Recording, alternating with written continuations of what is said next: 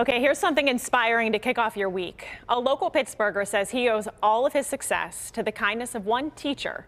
Pancho Timmons says it was a college professor who took the time to talk to him about his undiagnosed dyslexia, and that changed everything for him. He's here tonight to talk about his incredible journey. Pancho, so nice of you to join us tonight. Thank you so much. I'm so excited to be here. This is very cool. What do you remember yes. most about that conversation between you and your college professor that changed everything? You know, just just having that aha moment. You know that I could that I could be.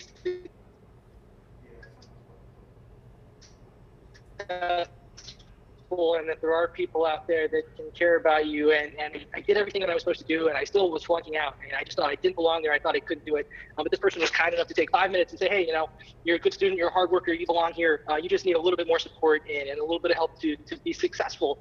Uh, so, you know, me, that, that that was the difference between flunking out of college and going on to get a couple of master's degrees and having two companies, and one of which is a nonprofit that I'm really proud of that, that helps youth with disabilities to, to venture out in the world maybe a little bit more prepared than I was um, you know, if we can have those conversations with with young people before they have to have that moment, you know, of, of just feeling like a like a total failure when you're really not. You just need to, to plug into the right channels of support to be successful.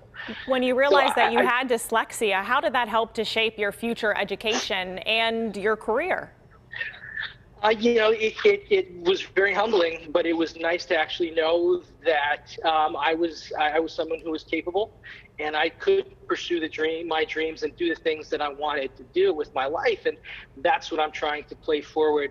I, I truly have a belief that if you do good things, good things will happen. Um, everything plays forward, and I believe in that so much that I, I actually have a book coming out about uh, really just those little things that you can do with your life that can change the whole world, or at least the world for for someone like what happened to me. I, I call it quick, uh, quick and easy world change because it's amazing how five minutes, a five minute conversation can really change someone's life. And I truly believe that. And that's what I'm setting up to do. I want to be living proof that uh, if you go out and do good things, good things will absolutely happen. Okay. Um, I, I just I really believe that that. Well, yeah. I appreciate you for taking the time. Sorry the Zoom is just not cooperating tonight, but thank uh, you so much for talking to us and best of luck with the release of your book.